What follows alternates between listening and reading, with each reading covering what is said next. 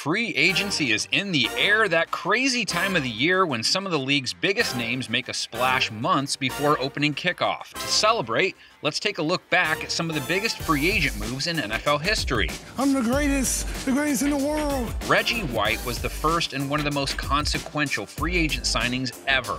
The Minister of Defense earned six straight first team All Pro nods in Philly before heading to Green Bay.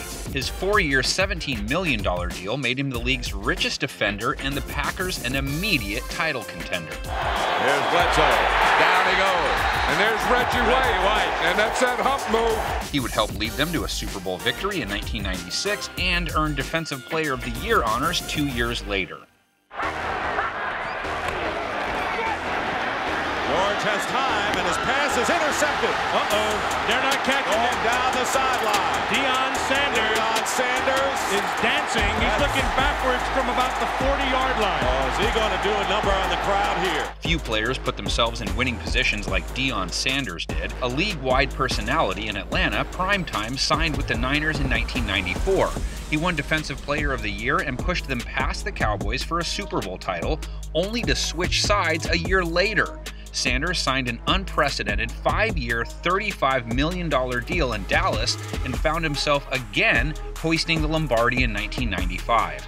Deion made first team All Pro in three straight seasons with the Cowboys. Primetime went on to ink a seven year, $56 million deal with Washington in 2000, but played just one season, announcing a surprise retirement in 2001.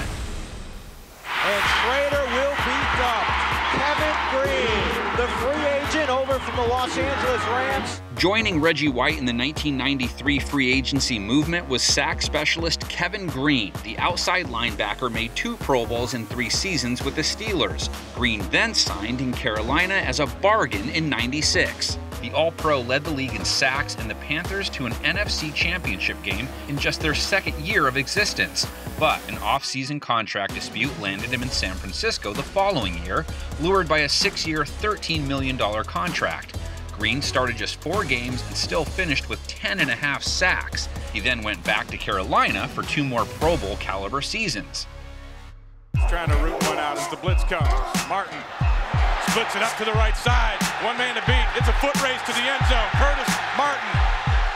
Cuts back 10, 5, touchdown New York. One of the first top tier running backs to hit free agency, young phenom Curtis Martin ditched New England after three seasons to sign a lucrative six year, $36 million deal with the rival Jets.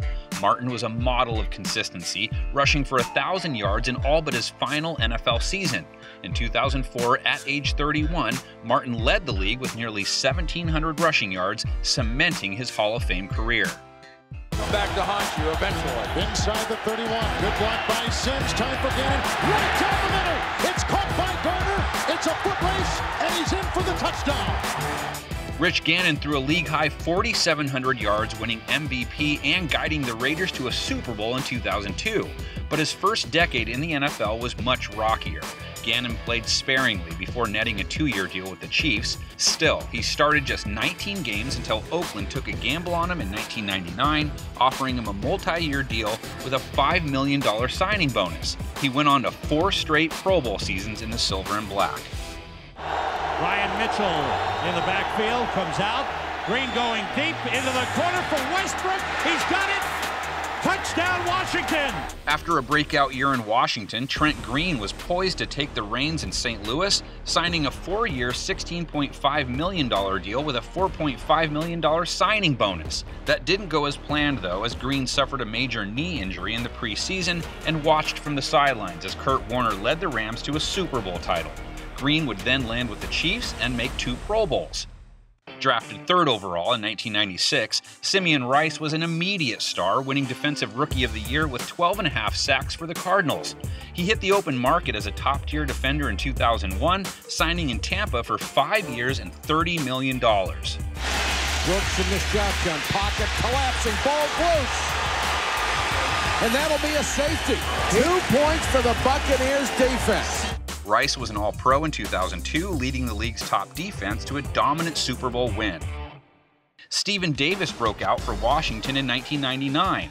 The fourth year pro led the league with 17 rushing scores and earned his first Pro Bowl. Four years later, he signed in Carolina for 15.5 million over five years. Right there. First and 10, Davis with 10 yards rushing, and Davis is breaking out. There goes Stephen Davis. Davis would make another Pro Bowl that season and help the Panthers to a Super Bowl appearance before retiring a few years later due to injury. Rookie defensive end Jevon Kearse exploded onto the scene for the Titans in 1999. The Freak, as he came to be known, racked up 14 and a half sacks, forcing a league high eight fumbles and winning Defensive Rookie of the Year. Gannon to throw on first down. Kearse. And Gannon is down at the 12. In 2004, he became the highest paid D lineman in history, inking a massive eight year, $66 million deal with the Eagles. But Kearse struggled to live up to the price tag, playing four inconsistent but unspectacular seasons in Philly. After being released by the Rams and struggling in New York, it's hard to call Kurt Warner a superstar free agent, at least back then. But he shocked his critics, reviving his career in Arizona after signing a one year, $4 million deal. Here's a little throwback to Warner going downfield for Fitzgerald. Covered by Demps, and Fitzgerald makes the play for the touchdown. He exceeded all expectations, leading the Cardinals to their only Super Bowl appearance in 2008.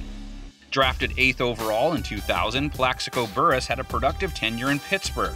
In 2005, he joined the Giants after they offered a six year, $25 million contract to pair him with Eli Manning. Burress thrived, racking up over 1,000 yards in 2005 and 2007 en route to a Super Bowl. We all know what happened next. Manning calling signals, takes the snap, looks left, lobs it left. First is wide open. Touchdown Giants! In the left corner of the end zone. The combination of Manning and Burress punctuated the biggest upset in Super Bowl history, but the duo would disband a year later. On the blitz, ball knocked loose, standing on the goal line. In 2005, a shoulder injury to Drew Brees convinced the Chargers to go all in on first rounder Philip Rivers. The Saints pounced, luring Brees with a six year, $60 million offer a year later. While Brees was good in San Diego, he was nothing short of legendary in New Orleans, earning an All Pro nod his first year. Three seasons later, he helped deliver the first Super Bowl win in franchise history with an MVP performance. The miracle in Miami has happened.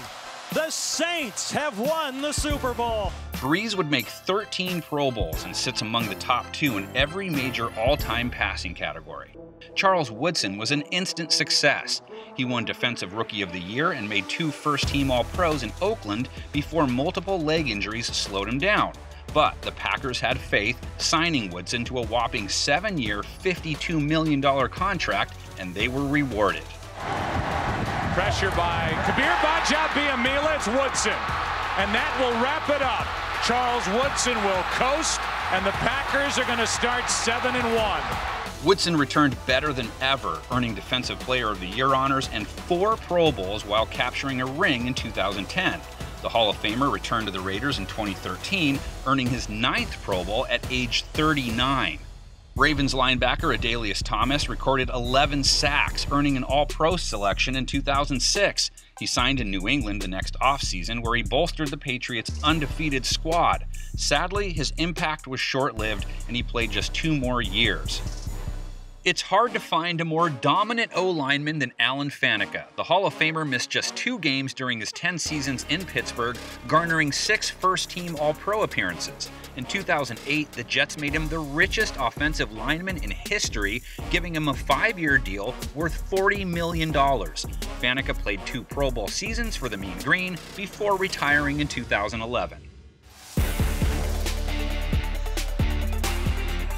Another deep ball. Again, it's Javon Walker. What an adjustment! Oh, what a play by Walker for the touchdown! Packers wideout Javon Walker blossomed in 2004, amassing nearly 1,400 yards and 12 scores. After a knee injury in 2005, Green Bay shipped him to Denver, where Walker put up another 1,000 yard season in 2006. The Broncos released him after the 2007 season, and that's when the Raiders shelled out a six year, $55 million contract for Walker's services. He would play just 11 games in Oakland. Back like he did with Lewis and Maurice Jones-Drew, you know how the situation has sorted itself out. Oh, Garrard breaking tackles, but he's finally corralled by Haynesworth. It took a few years, but the 330 pound Albert Haynesworth finally reached his potential for the Titans. The defensive tackle earned consecutive first team All Pros in 2007 and 8. The next season, he inked the first $100 million contract for a defensive player, including $41 million guaranteed over seven years with Washington. Haynesworth played just 20 games and was traded after two seasons. After 16 seasons, three MVPs, and a Super Bowl title in Green Bay, Brett Favre did the unthinkable in 2009. The Packers legend signed with the division rival Vikings. Everybody out. Favre rolls. What's the throw deep and does. To the end zone for Greg Lewis. Touchdown! The 40 year old gunslinger delivered with an MVP caliber season, throwing for over 4,200 yards and 33 touchdowns. He nearly led Minnesota to the Super Bowl before throwing a costly late game pick. Favre's Hall of Fame career would come to an end midway through the 2010 season. Meanwhile, another NFC North squad got a massive defensive upgrade when Chicago acquired Julius Peppers. After gaining superstar status in Carolina, the 30 year old earned a massive six year deal from the Bears worth over $40 million guaranteed. 15 seconds here. Sacked, and the ball is loose. Is this is Julius Peppers coming off that backside. Peppers earned all pro honors in his first season and made the Pro Bowl three times with the Bears. He went on to sign as a free agent in Green Bay, where he enjoyed three productive seasons before rounding out his career back where it all started in Carolina. Delhomme will throw from inside his five and going for Steve Smith. And it is picked off by Nnamdi Asomugha. Coming off three straight Pro Bowl seasons, Oakland's Nnamdi Asomugha was one of the league's best lockdown corners in 2010. The Eagles thought they were getting a game changer on defense when he came to Philly on a five year, $60 million contract. Instead, he played just two unremarkable seasons before being released. He went on to play just three games with the Niners before calling it quits. Manning, buying time, catch, Garcon. Touchdown Colts. By 2010, there was no bigger sheriff in town than Peyton Manning, but after making his 11th Pro Bowl appearance, the four time MVP needed neck surgery, ending his legendary Colts tenure. Denver was quick to pounce, locking up the Hall of Famer with a five year, $96 million contract despite injury concerns. Manning again defied the odds, earning another league MVP and Lombardi Trophy with the Broncos. The first overall pick in 2006, Mario Williams earned two Pro Bowls for the Texans before consecutive trips to the injured reserve made him a free agent in 2012. Buffalo swooped in, making him the richest defender ever with a six year contract worth up to $100 million, including nearly $50 million guaranteed. Rodgers has it stripped. It is a safety. Williams produced, notching his only career All Pro nod and posting three 10 sack seasons for the Bills. Mike Wallace started his career strong, notching 2,000 yard seasons in his first three years with Pittsburgh. But in 2013, he left for South Beach, signing with the Dolphins for $60 million over five years. Wallace was productive, but was dealt to Minnesota after just two seasons. Aqib Talib blossomed into one of the league's top corners from 2010 to 2013, making his first Pro Bowl with the Patriots in 2013. Talib parlayed that success into a mammoth six year deal worth $57 million from the Broncos. He became a key part of Denver's historic defense, making the Pro Bowl each year from 2014 to 2017. Talib earned a ring in Super Bowl 50 and All Pro honors the following season. For 17 on a couple of other occasions. 21 yards for Tony. And there goes Murray inside the 10, juking and faking and scoring. In 2014, DeMarco Murray put up one of the best rushing seasons in recent memory. The Cowboys back rushed for over 1,800 yards and led the league in every major rushing category. Of course, that happened to be a contract year, and the Eagles floated him a five year, $42 million deal to pry him away from the Cowboys. Sadly, his stint in Philly was lackluster, just over 700 yards on the ground in 2015 before being traded to the Titans a year later. Second down and 13. Flynn takes a safety, and it's Suh. Second overall pick, Ndamukong Suh delivered for Detroit. He earned three first team All Pros and a Rookie of the Year nod. Suh was free agency's biggest fish in 2015, and the Dolphins got him for the highest defensive price tag in history.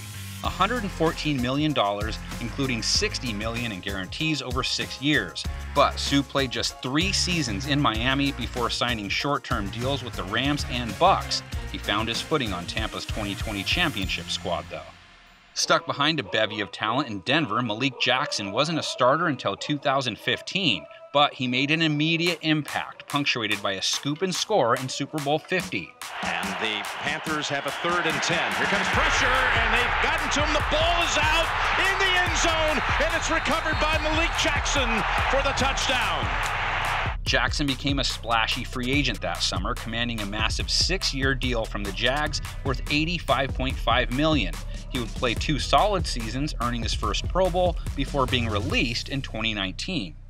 By his second season, Olivier Vernon was a mainstay on the Dolphins' D line. He played every game during his four seasons in Miami and was rewarded with a five year contract from the Giants, including over $52 million in guaranteed money.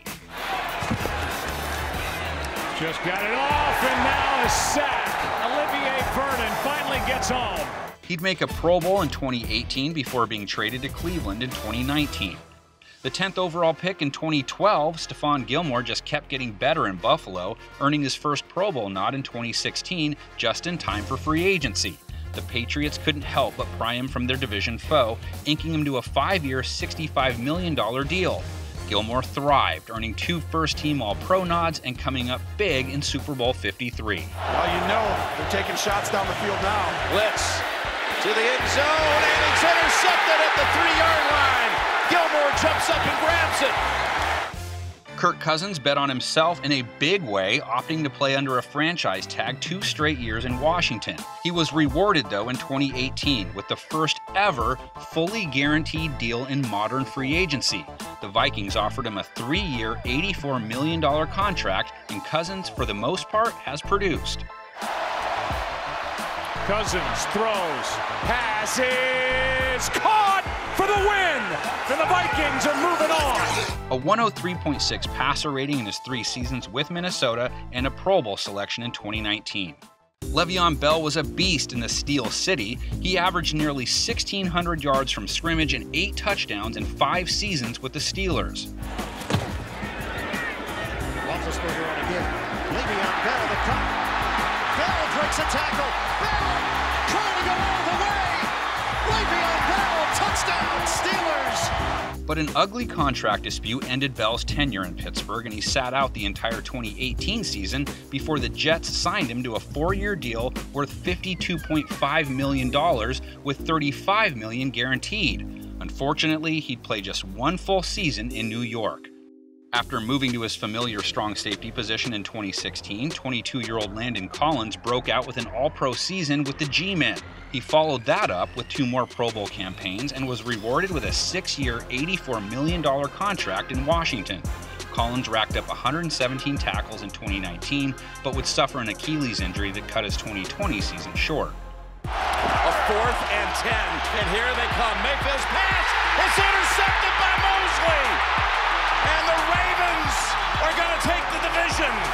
CJ Mosley ushered in a new era of ferocious linebackers for Baltimore. He shined from the outset, making a Pro Bowl and at least 100 tackles in four of his first five seasons with the Ravens. But in 2019, he opted out for greener pastures, landing a five year, $85 million contract with the Jets. Mosley has played in just two games with the Jets since. A groin injury forced him to miss most of 2019, and he opted out of the 2020 season. Former Patriots quarterback Tom Brady has an agreement in principle to join the Tampa Bay Buccaneers as their new quarterback. And finally, we have the GOAT. After 20 seasons and six Super Bowl titles in New England, Tom Brady surely didn't have much left in the tank, right?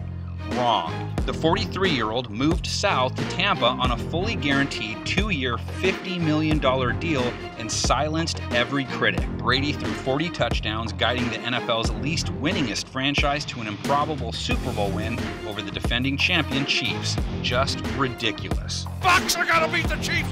Tom Brady, you are the man. You are the GOAT.